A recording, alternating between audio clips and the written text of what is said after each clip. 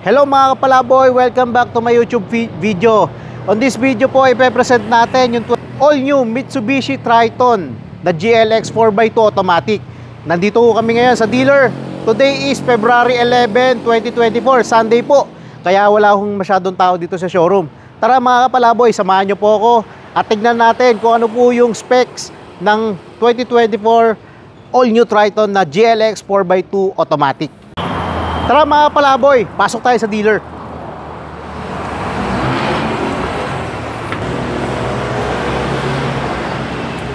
Good afternoon po. Mga palaboy, kung naghahanap kayo ng bagong offer sa Mitsubishi, hanapin nyo lang po or isearch nyo lang po sa YouTube yung Joey Boy Palaboy.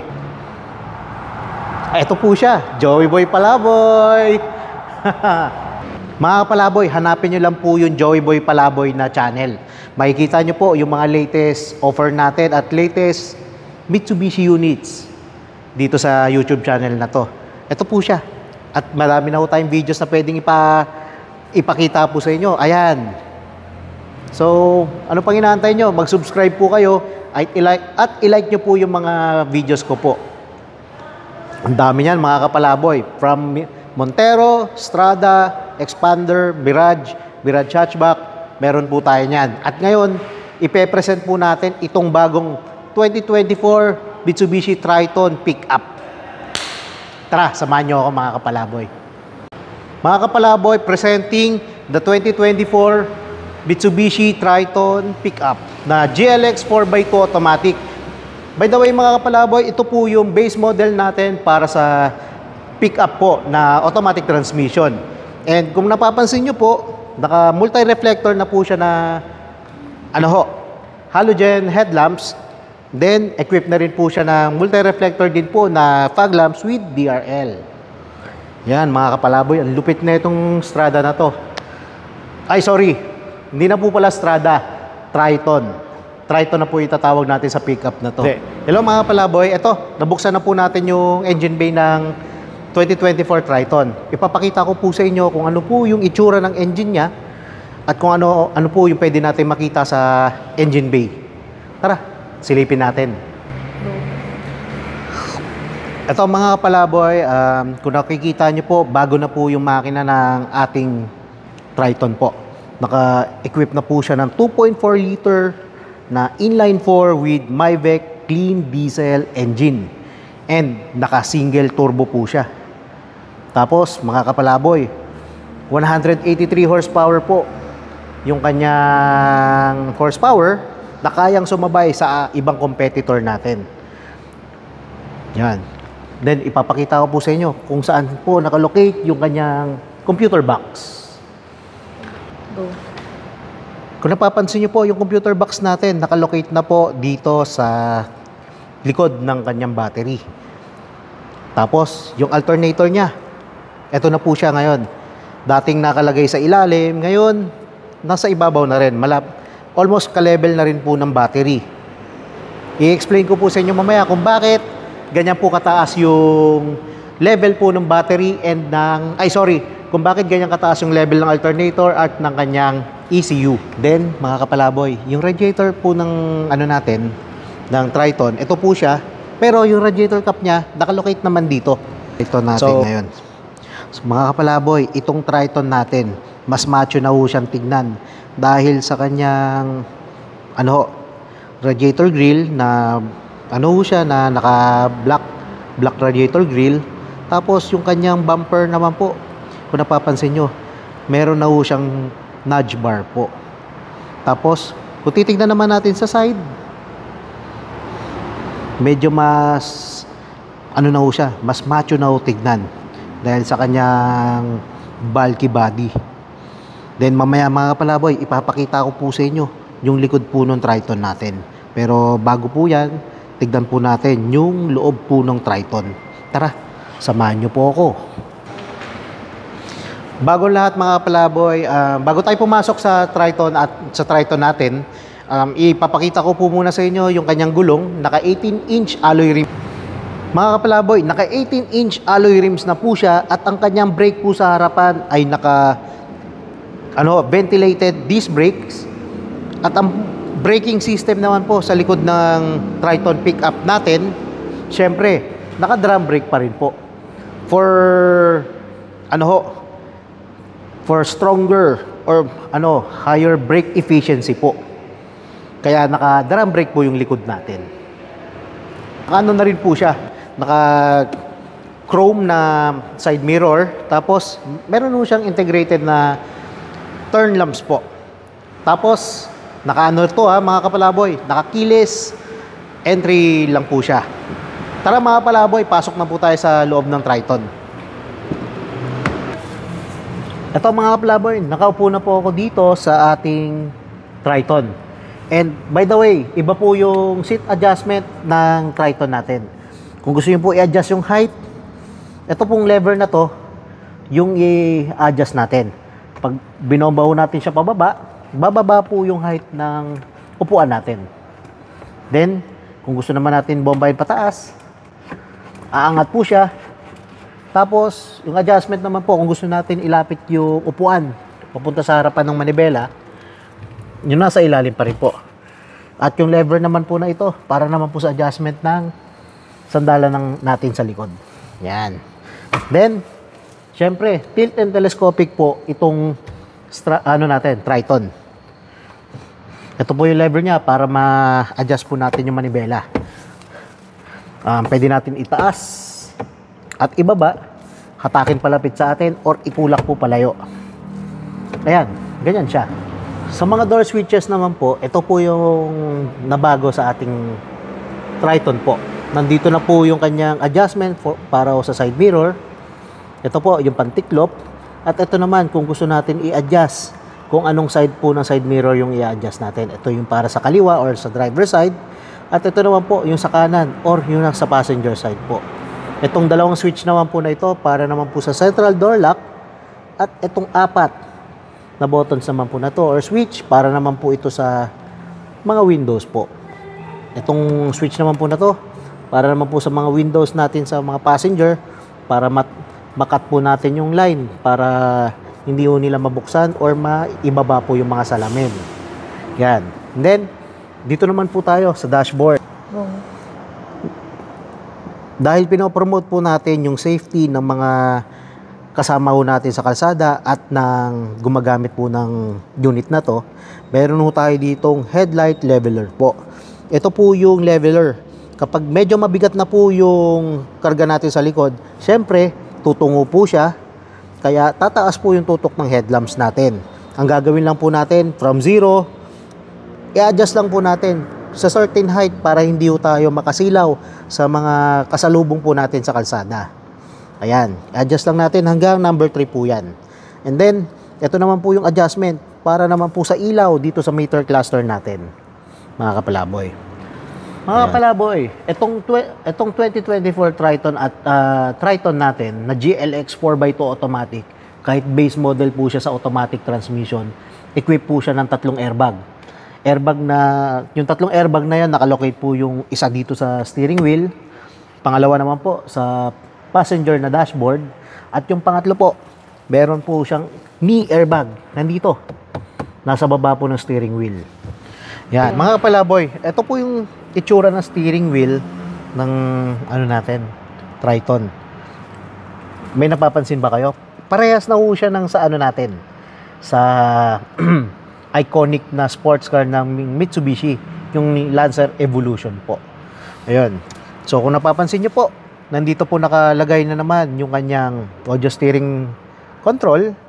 Tapos, itong button na to, yung merong toggle, toggle switch dito. Ito naman po yung para naman sa multi-information display menu po niya para matagal po natin yan. Sa right side ng steering wheel naman, naka-locate po yung kanyang cruise control at ng kanyang voice recognition at hands-free button po. Yan. Ang ganda, di ba? Ito pa yung nabago sa ating Triton. Yung kanyang ano, mga switch sa ilaw. Then yung switch din po sa kanyang wiper po, nabago rin po. Ito na po yung design niya ngayon. Yan, ang ganda. Grabe. Napakadaling gamitin po ngayon. Display. Mga kapalaboy, ito nakaupo pala ako ngayon dito sa Triton natin. Napansin ko pala um, dito sa upuan na to, medyo mas mataas po siya compare po sa previous na pickup natin na Mitsubishi. Mas okay siya. Saka yung ano ko dito, yung line of sight or yung po- point of view ko po, medyo mas maganda po siya unlike sa previous na pickup natin. Then, magtungo na tayo dito sa center console ng ano natin, ng Triton. Okay, mga kapalaboy, equipped na rin po siya ng LCD touchscreen monitor. Kahit base model siya sa automatic transmission, naka touchscreen monitor na siya with SmartLink display audio. Pwede tayo mag connect ng Android devices or ng Apple devices natin dito para magamit po natin yung Android Auto or Apple CarPlay po. Iko-connect lang naman po natin siya sa dalawang USB port dito, either Type-C na USB port or Type A na USB port po. Yan, di ba ang ganda? Magtungo naman po tayo dito sa aircon controls po niya. Ang aircon natin sa Triton ano na GLX automatic naka ano siya auto climate control.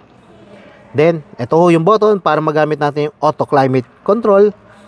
Ito naman para naman sa air recirculator, front defogger at kung gusto natin palamigin kaagad yung unit, pipindutin lang naman natin to. Or palalamigin pala, sorry, yung cabin. Pipindutin lang natin yung max cool. Itong mode naman na to para naman sa kanyang ano, air vents kung gusto natin paganahin yung hangin sa baba sa lahat ng air aircon vent dito sa dashboard at marami pang ibang function. Tapos, itong button na to para naman sa rear defogger po. Itong AC button naman para lumamig po yung yung cabin natin gaga, para gumana po yung thermostat ng aircon. Pipindutin natin 'yan. At ito naman yung kanyang aircon control switch or nung on and off button po. Then, hindi pa po doon nagtatapos. Itong toggle switch naman po na to para naman sa fan speed. Ito naman para sa temperature. Ang daming features ng Triton GLX automatic natin.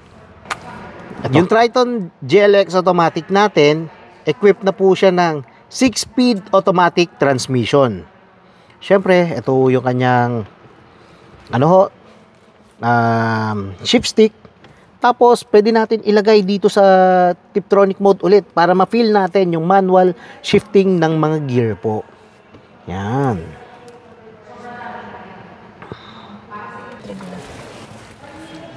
Itong Triton natin, may dalawang compartment po siya. Ito. Una, pwede kayo maglagay ng mga ano dyan, mga documents or gadgets. Tapos, pwede rin dito. Sa baba po. Yan, pailawin natin. Yan. Diba, ang ganda? Marami tayong mailalagay dito. Tapos, itong, ano natin, Triton, meron siyang apat na cup holder. Isa po sa mga pintuan sa harap. Tapos, sa gitna, meron din po dalawang cup holder. Yan. Mga kapalaboy, equipped na rin po ito ng passenger airbag indicator, indicator light. Nakalocate po yan dito.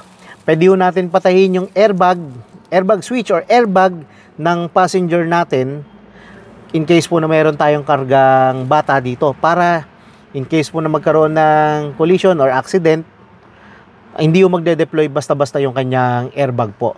Para at least, kahit naka-seatbelt po yung child or yung bata po, hindi yung magsusustain ng may anong serious injury po.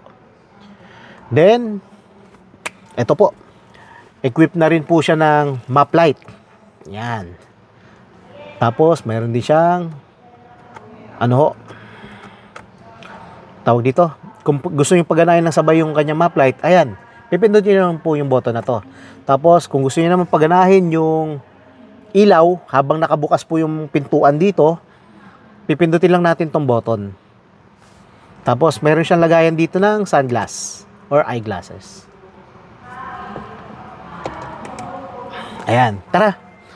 Silipin naman natin yung second row seat ng Triton.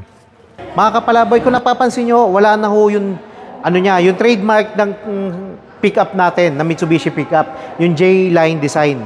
Ngayon, tinanggal na ho natin siya, pero hindi pa rin mako-compromise yung comfortability, yung comfort ng sasakay dito sa unit na to. Tara, silipin na ho natin yung loob ng unit. At, wait, kung napapansin nyo po, mas malaki na po yung kanyang fuel, co- yung fuel tank cover po. Ito ho siya. Tara, pasok na po tayo sa loob ng unit. Mga, mga kapalaboy, ito, nakaupo na po ako dito sa likod ng Triton natin. Yung height ko pala, 5'6". And yung body build ko, sabi nung previous na nag-comment sa atin, chubby lang daw ako. Ayos, akala ko, bis na ako eh. anyway, ito mga kapalaboy, um, kung i-compare ko to sa previous pickup namin, or natin, medyo mas, ano pa rin, almost the same pa rin naman yung upo sa second row seat. Okay pa rin naman. Um, yung ano natin, yung hawakan, okay pa rin. Ganun pa rin naman. Parang ganun pa rin yung feel. Yan. Tapos, yung napansin ko lang dito, ah medyo ano pa rin naman, medyo maluwag pa rin naman. Saka, hindi tayo mag-ano dito, yung magbabanggaan lagi. Tapos, hindi pa rin mawawala yung armrest console with cup holder. Kung dalawa lang kayo sa likod na nakasakay, magagamit natin to. Ayan, maluwag siya. Tapos, ito pa, kapalaboy. Ito, equipped na rin siya ng 12 volts power outlet. Ayan, pwede, na, pwede kayo magsaksak dito ng mga, ng ano, ng USB car charger. Tapos, dito, meron siyang Type C at Type A na USB slot for charging naman. So, napaka-convenient gamitin ng unit na to, mga kapalaboy. Yun. Tara, silipin natin yung likod ng Strada. mga kapalaboy, sorry ah. Nasabi ko pala kanina, Strada. Um, sorry, mahirap kasi mag-adjust. Naninibago ako sa pickup natin ngayon. And anyway, ito, Triton. May nakasulat dito na Triton badge. Yan po, Triton siya.